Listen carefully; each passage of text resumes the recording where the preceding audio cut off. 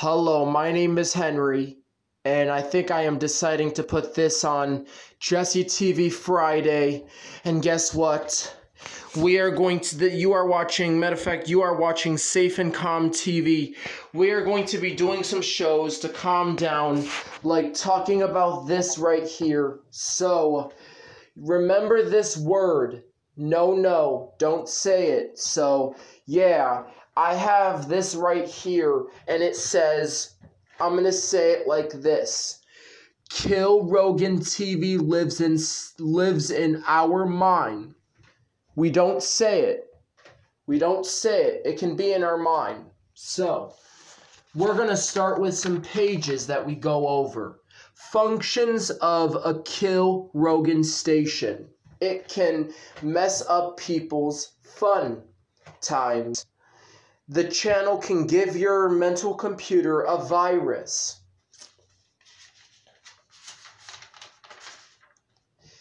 Dangers. It can be very dangerous to imagine when it gets in my mind. I may want to play it. You can, you just can't play it out loud. You just can't say it out loud. The human mind is a computer. Oh, guys, did you hear that? Did you hear that in this book? The human mind is a computer. Well, uh, yes, it is. Your mind is a mental machine. The mental computer can compute, create, process, and store. We don't need to bleep that part out. The mental mind is a computer. We compute store, process, and more. We can think. We program our minds like a computer. Our brains has programs in it. It can work, function, and compute data. So that's what I'm talking about right here.